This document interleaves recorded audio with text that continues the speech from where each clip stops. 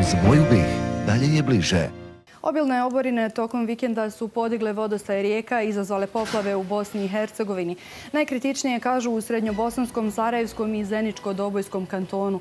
O ovoj situaciji u nastavku razgovaram sa gospodinom Fahrudinom Solakom, direktorom Federalne uprave civilne zaštite. Dobar dan i dobro mi došli. Dobar dan vama i našim gledalcima. Gospodine Solak, vidno je da ste umorni na terenu, ste sa vašim kolegama. Evo, iz prve ruke ćete nam reći kakva je trenutna situacija. Pa evo, danas je već to poprilično sve da kažem, dobro stabilizovala se situacija.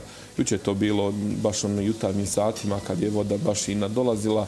E, tokom popodneva smo uspjeli otkloniti sve one probleme e, u pogledu nesmetanog odvijanja saobraćaja, prije svega u općinama e, Srednjebosanskog kantona, putni pravci Kiseljak, Busovača, Busovača Travnik. Kasnije to već sve bilo riješeno. Na terenu su bile i mehanizacije, bilo na nekim mjestima gdje smo morali evakuisati e, stanovnike koji su usred bolesti nisu mogli e, sami da se nose sa tim problemima. Već od jutros i sinoć e, smo radili sa pumpama za splavanje vode, mulja, blata, svega onoga što je bilo u objektima. Voda je dolazila do negdje otprilike nekih 60-70 cm u objekte.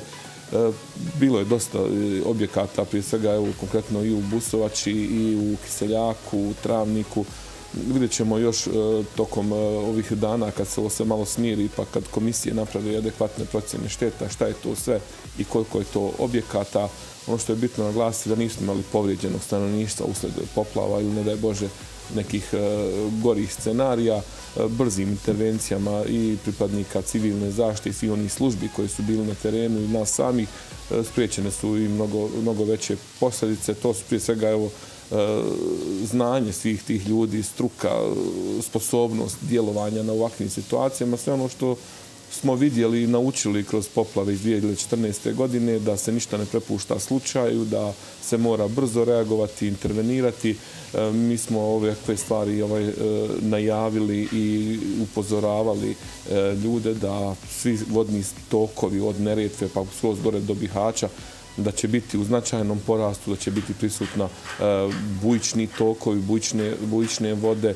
To je bilo bitno na, naglasiti da, da se može brzo reagovati. Tako su i određene općine koje su se smatrale kao ugrožene i pripremile određenu i mehanizaciju, tako da su i vrlo brzo i reagovali. Tako da evo, mogu reći da, da je brzim intervencijama spriječena mnogo veća šteta. Spomenuli ste poplave koje su našu zemlju zadesle 2014. godine, pa evo danas kada uporedimo situaciju, koliko su kapaciteti, ali generalno i mehanizacije pojačani od 2014. do danas?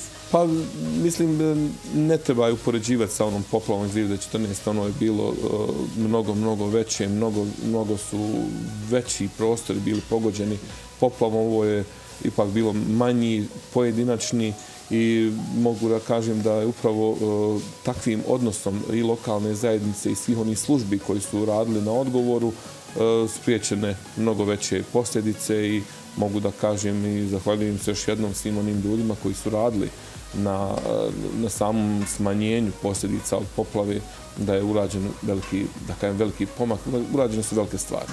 A koje su to najveće poteškoće sa kojima se susrećete na terenu? Jedna zanimljiva e, činjenica koju ste izjavili je da ste u Pazariću naišli na otpor stanovnika.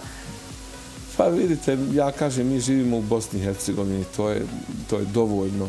Mi imamo nekakav svoj specifičan mentalitet i nekad neke stvari e, radimo ni sami ne znamo zbog čega. E, vrlo se loše odnosimo prema rijekama, prema koritima. Mi ako ne znamo šta ćemo za smeće, mi ćemo ga baciti u rijeku. To, je, to, to, to smo svjedoci svakodnevno takvih scena. Vidjeli smo onih juče šta je voda sve nosila, kakav je otpad, kakvo smeće. Evo kažem, pa možda evo, da, kažem, da i u odbranu svih naših građana ide E, činjenica da je puhao jak vjetar, da je nanosio, dizao velike količine smeća i sve to, ali e, ipak ima tu dosta do nas. Pa evo konkretno u Pazariću gdje, gdje imamo 20 kuća koje ne dozvoljavaju ni jedna da se kroz njihovo E, imanje dođe bager da bi se moglo urediti to korito koje plavi već neki nekih deseta godina. Znači načelnik općine e, već deset godina pokušava da uredi to korito rijeke Zujevine tu u Pazariću i e, ljudi su izmotali oko svojih, da kažem, nekih pomoćnih objekata, kokošinjaca, štala, rijeku i onda kad se dogodi poplava, sve su im neko ime drugi kriv. E, evo, hvala Bogu, ja kažem, nije bilo nikakvih neželjenih posljedica tu i nadam se da će se ljudi e, sada uvidjeti e, potrebu uređenja tog korita i dopustiti općinskim vlastima da urede te korito.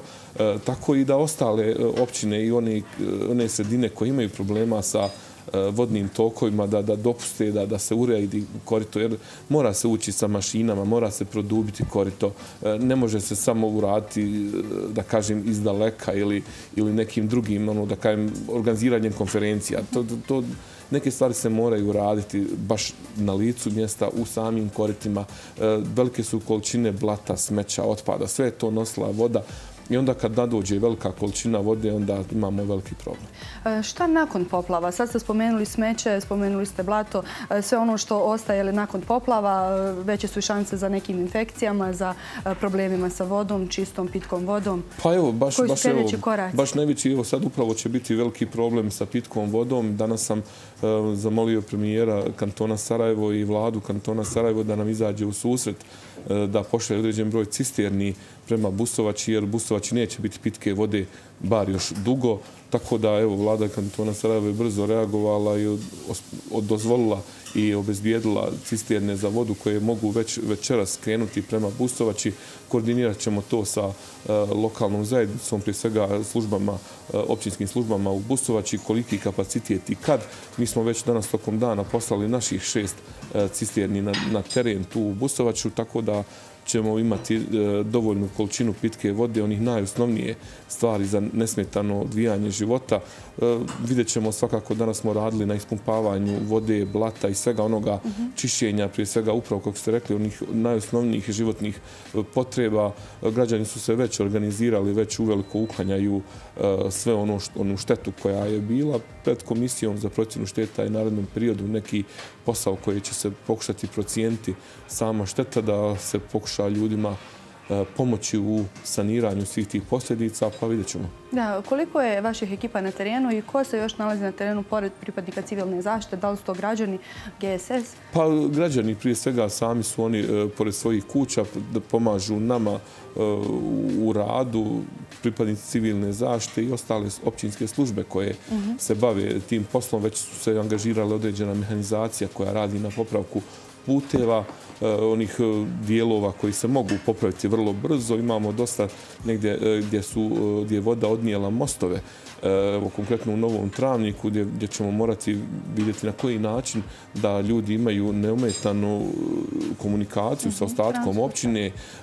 Imamo dosta nekih privrednih objekata, evo, konkretno u Kauniku, koji su osjećeni, znači cijele proizvodnje su im stale. Sad, naravno, treba pomoći tim privrednicima E, da, da, da se iznađe način da, da mogu neometano dalje obavljati svoj posao, jer ako 30 porodica hrani jedna fabrika koja mora isporučiti neki određeni proizvod e, u nekom roku, znači ja smatram da bi to trebalo vrlo brzo reagirati i svakako će e, nadležna tijela i u federaciji, u kantonu znati to procijeniti i da brzo reaguju, jer to su stvari koje, koje se moraju brzo, brzo djelovati, brzo reagovati, tako da ćemo vidjeti. Naj, najveći je, kažem, problem upravo mostovi koje su oštećeni, jer za most ipak treba i adekvatan projekat, kvalitetan priprema i sve ono što je potrebno. Ne može se samo pristupiti i praviti mostove. Pa evo vidimo i na, na Iliđi gdje je jedan pješački most mhm. koji je bio u fazi izgradnje isto odnešen.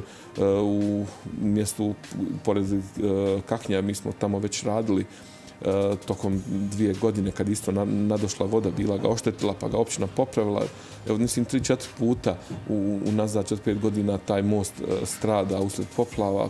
Nadati se da ćemo uspjeti nešto napraviti kvalitetnije.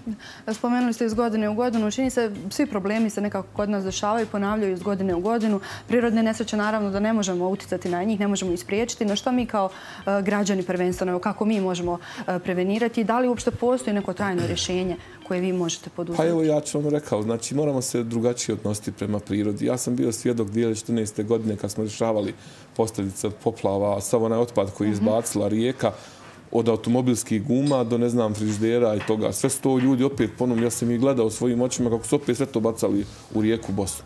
I sad kad je opet to sve rijeka Bosna izbacila, opet nam je neko drugi kriv. Znači mi moramo prije svega promijeniti svijest odnosa prema, prema prirodi, odnosa prema e, rijekama, prema koritima, dozvoliti e, administracijama da se bave svojim poslom, da Eh, se urede korita, da prije svega ima da kažem, dosta aktivnosti. Upravo evo, već će na proljeće krenuti jedna akcija čišćenja eh, rijeke Bosne koja je krenula iz Zence i tu ćemo i mi biti kao partneri jer tu pozivamo i sve druge eh, zainteresirane ljude i subjekte, općento, sve organizacije da se pridruže, da, da radimo mnogo više na očuvanju, održavanju naših rijeka. Imamo lijepe rijeke, imamo uh, divna jezera, ali vrlo često se prema tome odnosimo maćehinski, odnosno ne odnosimo se nikako, to nam je deponija. Da. E, gospodine Solak, evo recite nam, dakle, za sam kraj e, mjesta za strah i paniku nema, vodostaj rijeka se povlače, evo možda poruka za sve naše gledatelje. Tako je, nema razloga za paniku i za strah, mi smo svo vrijeme na terenu, bilo kakav bilo, bilo šta da, da, da je potrebno, tu smo da, da djelujemo i možemo i znamo. Sinoć nekad već oko dva sata je Bosna dostigla neki svoj maksimum od 612 u tom trenutku, da kažem maksimum od tada od dva sata već ide na opadanje, već danas u ovim trenucima je negdje metar i po mhm. smanjen nivo rijeke Bosne, tako da već se poprilično sve to vraća u svoja korita. Nije bilo, najvažnije, nije bilo velikih rijeka koje su se izlijevale, još će i Sava i dalje rasti dok Sava ne oteče, jer cijeli je taj sliv, e, savski sliv, sa agencijom za vode rijeke Save smo konstantno na, na, na, na vezi i kontaktu, pratimo njihove mjerne e, instrumente i oni nas blagovremeno obavještavaju. Tu su nam i jednu veliku pumpu dali na, na, na, na brzu intervenciju, znači velikog kapaciteta za naš e, high capacity pumping team, tako da ćemo vidjeti ako bude potrebe da se djeluje. Sad za sad nema, stvarno nema potrebe za takvim aktivnostima, ali evo vidjet ćemo, ništa ne treba prepustiti slučaju i evo, svakako je ono poruka svim stanovnicima koji žive kraj ovih rijeka koji su se izle ili su u porastu bili da nema razloga za paniku. Rijeke se e, značajno e, opad, e, smanjuje se, nije nivo, opadaju već nekih 15 cm u satu. Gospodine Solak, hvala vam na vašem izvojenom vremenu. Evo, bio je to gospodin Fahrudin Solak, direktor Federalne uprave civilne zaštite.